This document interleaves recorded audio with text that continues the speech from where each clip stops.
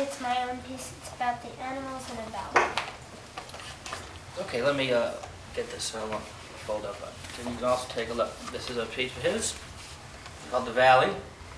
And so you have the setting, the valley, and all the various creatures in it. You have uh, a duet between a rabbit and a snake, which does not end well for the rabbit.